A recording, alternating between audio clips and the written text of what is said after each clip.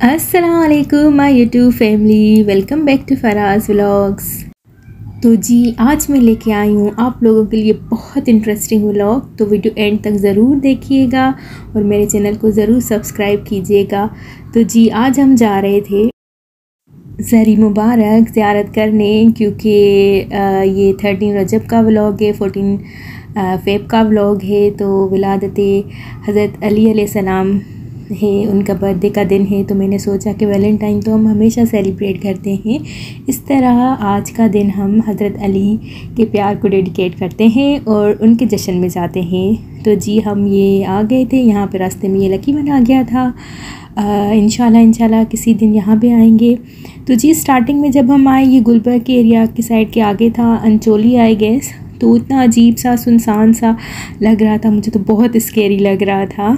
तो ये parking ground था। तो जी अकॉर्डिंग टू माय हस्बैंड के जब ये मुहर्रम के डेज़ होते हैं तो ये इतने बड़े ग्राउंड में पार्किंग की जगह नहीं होती। तो जी, यहाँ से ही स्टार्ट हो गई थी इमाम बारगाह। तो ये मेरा फ़र्स्ट एक्सपीरियंस था, क्योंकि मैं कभी इस तरह से नहीं आई। तो मेरे हस्बैंड आते रहते हैं, वो बताते हैं तो मुझे भी बहुत अच्छा लगा यहाँ आके दिली सुकून मिल रहा था और ये मुझे एरिया इतना अच्छा लग रहा था। यहाँ पे ऐसे इमाम बारगाह थी, ये पार्क बने हुए थे, ये घर थे, ये मोस्टली शिया कम्युनिटी के घर थे, लेकिन इतना अच्छा माहौल मुझे लगा, बहुत इंटरेस्टिंग और हर जगह पे न्यास चल रहे थे और अभी तो हम बहुत जल्दी चले गए थे फ़ंक्शन स्टार्ट नहीं हुए थे। हर घर जो यहाँ पे था, सबके दरवाज़े खुले हुए थे और वो सेलिब्रेट कर रहे थे। बिल्कुल जैसे ईद का माहौल लग रहा था। मुझे तो बहुत अच्छा लगा। मेरा तो दिल था कि मैं और ज़्यादा रुकती यहाँ पे। लेकिन फिर हमें घर पे वापस आना था क्योंकि हम बहुत दूर गए थे। तो इसलिए हम आ गए, लेकिन मुझे बहुत ज़्यादा अच्छा लगा। मेरा फ़र्स्ट एक्सपीरियंस था। तो आप भी ज़रूर आइएगा। ऐसा नहीं कि सिर्फ़ शिया ही जा सकते हैं। हज़रत अली तो हम सब के थे। तो हैं, बल्कि हमेशा ज़िंदा रहेंगे। तो और ये हमें ना यहाँ पे एक शॉप मिल गई थी। यहाँ पे स्टोन मिल रहे थे, रियल स्टोन तो हमने वो भी देखे। तो मुझे तो बहुत अच्छे लगे। ये मतलब मैं एक्सप्रेस नहीं कर पा रही, अब मैं जब वॉइस ओवर कर रही हूँ तो ये वाइब्स ही डिफरेंट थी, माहौल बहुत ज़्यादा डिफरेंट था। मतलब इतना फ्रेंडली मैंने तो माहौल नहीं देखा कराची में कि हर घर के दरवाजे खुले हुए हैं और वो सियास दे रहे हैं। और इतना रश था, बिल्कुल ईद का माहौल था और ऐसे बच्चे इतने फायर वर्क कर रहे थे, पटाखे फोड़ रहे थे और इतनी अच्छी लाइटिंग थी। इतनी शॉप्स थी डिफरेंट डिफरेंट और इतनी डिफरेंट चीज़ें थी।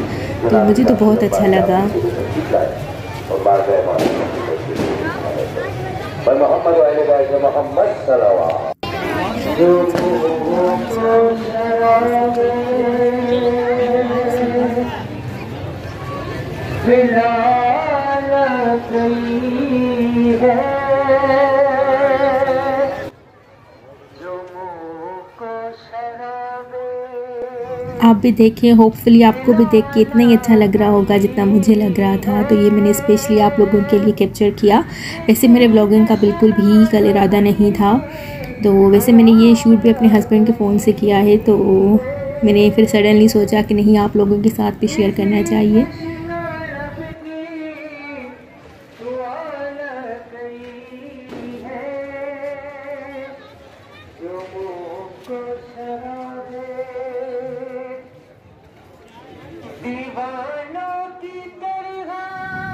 और ये बहुत सारी चीज़ें मिल रही थी यहाँ से, और मैंने तो कुछ नहीं लिया, लेकिन इन अगर नेक्स्ट टाइम मैं जाऊँगी तो ज़रूर लूँगी, और मैंने डिसाइड कर लिया है कि अब मैं इन मुहर्रम में जाऊँगी तो फिर तब मैं मैं कुछ यहाँ से ले लूँगी। तो जी, यहाँ पे ये मेन इसका इमाम बारगा आ गया था। तो यहाँ पे लेडीज़ का अलग पोर्शन था, और मेल के लिए अलग था। तो पहले मैं गई ज़्यारत के लिए, उसके बाद फिर मेरे हस्बैंड गए थे।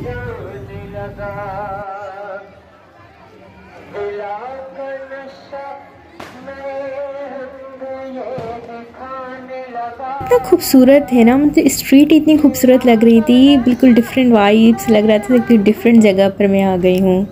ऑल टुगेदर बहुत खूबसूरत व्यू था।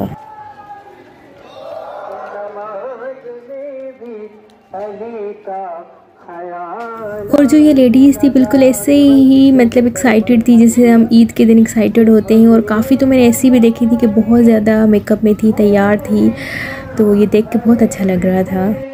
मुझे ये सब देख के ना बहुत ज़्यादा अच्छा लगा क्योंकि मेरा कभी ऐसा एक्सपीरियंस रहा नहीं तो मैं बहुत कम जाती थी जब अनमेरिड थी बाहर तो मुझे ये बहुत ज़्यादा मिसमराइजिंग लगा।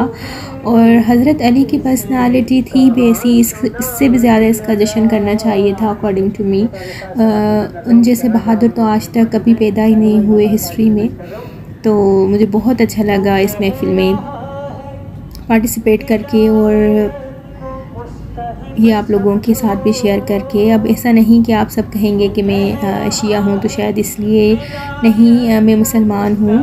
तो शिया, सुन्नी और ये सब तो बात की बातें हैं। हालाँकि जो मैं पहले जहाँ से बिलोंग करती थी, जब मैं अनमेरिड थी तो मेरे अब्बू वाले सुन्नी थे। अब मेरी शादी हुई है तो मेरे हस्बैंड शिया हैं। तो ऐसा कुछ भी नहीं है। मैं जस्ट आपके साथ ये एक्सपीरियंस शेयर कर रही थी। तो आप भी इंजॉय कीजिए और मेरे साथ बने रहिए और वीडियो को एंड तक ज़रूर देखिए। आपको बहुत अच्छा लगेगा। और मेरे चैनल को अगर आपने सब्सक्राइब नहीं किया तो प्लीज़ डू सब्सक्राइब और लाइक भी ज़रूर कर दें। और यहाँ पे जो ये सेपरेट पोर्शन था, यहाँ पे ये बिग स्क्रीन लगी हुई थी जहाँ पे ये लेडीज़ सब सुन रही थी और जो मेन फ़ंक्शन था वो मेल साइड पे हो रहा था। तो वो मैं फिर हस्बैंड ने फिर रिकॉर्ड किया था आप लोगों के लिए। मैं तो नहीं गई थी। यहाँ से उन्होंने शूट किया था और बहुत अच्छा किया। उनका भी फ़र्स्ट टाइम था। मैंने कहा था, आपको ज़रूर शूट करके आना है, क्योंकि मुझे अपने सब्सक्राइबर को दिखाना है जो मैं देख रही हूँ। मुझे इतना अच्छा लग रहा है तो उनको भी डेफ़िनेटली अच्छा लगेगा।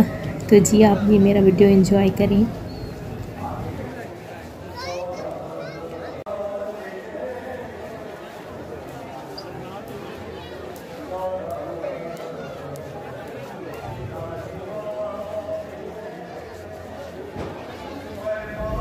तो जी, ये मेल जो साइड था, ये भी मैं अभी देख रही हूँ वॉइस ओवर के दौरान। ये बहुत ज़्यादा अच्छा डेकोरेटेड है और बहुत एरिया भी इसका ज़्यादा है। जो फीमेल साइड का पोर्शन था, वो बहुत कम था और कम डेकोरेटेड था। तो ये मुझे और ज़्यादा अच्छा लग रहा है as compare to female side और कितना खूबसूरत व्यू है ये।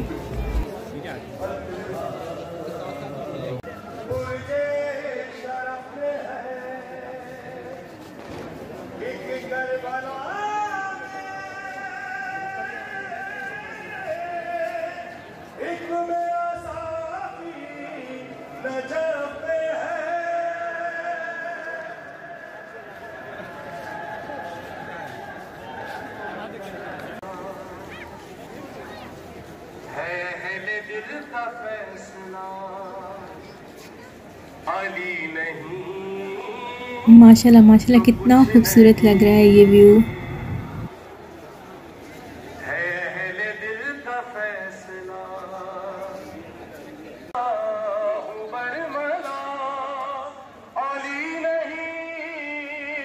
तो कुछ नहीं।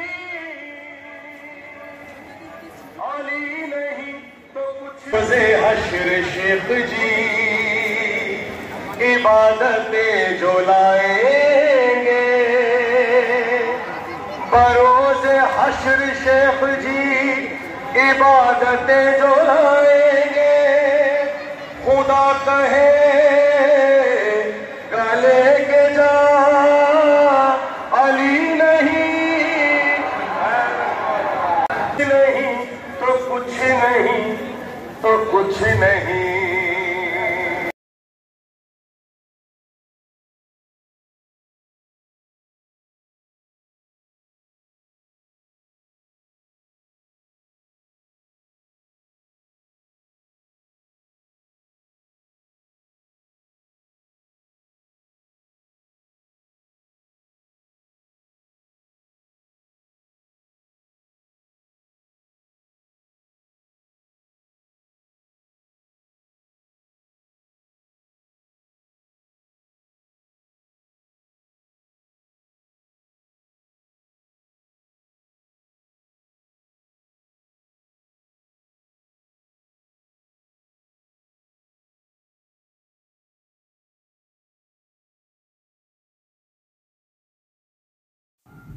तो जी, ये एक छोटा सा ब्लॉग था आप लोगों के लिए। अगर आपको पसंद आया हो तो आप प्लीज़ सब्सक्राइब कीजिएगा और मेरे वीडियोस को लाइक कीजिएगा अच्छे अच्छे कमेंट्स कीजिएगा और मुझे ज़रूर बताइएगा आपको ये वाला मेरा ब्लॉग कैसा लगा। ये मैंने बहुत ज़्यादा दिल से बनाया है और इसके पीछे इंटेंशन भी जो हम मेरा था ना, वो बहुत ज़्यादा प्योर था। मतलब मुझे जस्ट आपके साथ ये एक्सपीरियंस शेयर करना था।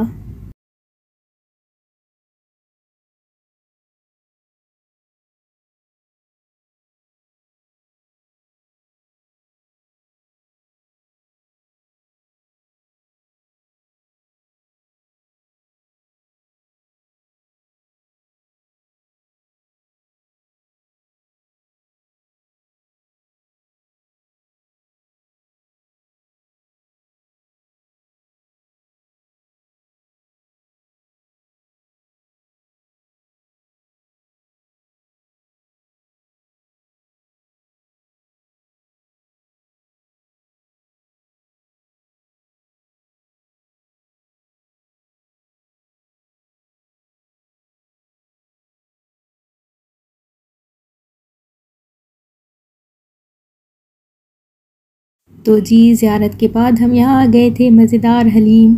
ट्राई करने बहुत मज़े का था। यहाँ मैं पहले भी आ चुकी हूँ अपने अबू के साथ, ये गुलबर्ग में है। तो जी, अपना बहुत सारा ख्याल रखिएगा। दुआ में मुझे भी याद कीजिएगा। और अगर आपको वीडियो पसंद आए तो आपको पता है आपको क्या करना है। Subscribe thank you so much for watching अल्लाह हाफिज़ एंड टेक केयर